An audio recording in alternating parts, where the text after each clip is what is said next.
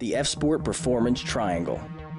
F-Sport factory packages and accessories allow drivers to add various levels of performance to their vehicle to help bridge the gap between the factory-tuned IS350 and the high-performance ISF.